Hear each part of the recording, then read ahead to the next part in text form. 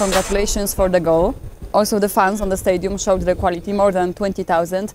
Did you miss it? Did you meet, meet, miss this atmosphere?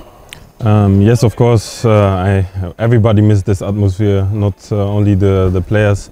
It's so good to have this big support from, from everybody who come to the stadium, and uh, you feel that the city Krakow is behind us. And um, yeah, we was very motivated. We have to keep on this, and uh, yeah, so very excited to to give this also to the supporters, also after a long time, and um, great great atmosphere, amazing, and um, I'm happy to feel this energy.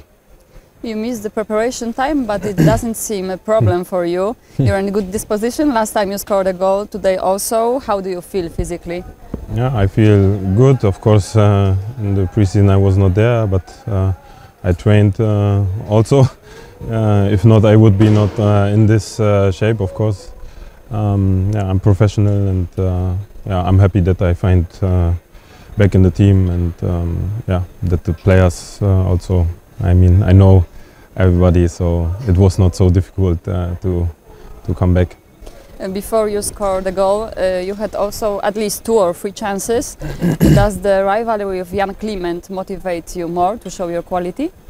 Ah, you know, football is always uh, you have you have concurrents or players. Uh, of course, um, I was today also a little bit unlucky. Two times I I, uh, I get the post and the crossbar. Um, yeah, but anyway, we are one team and uh, everybody's going together. And like the coach also said, we need every player. And uh, yeah, like always, uh, everybody do his best to perform good and. Um, to make a good result at the end.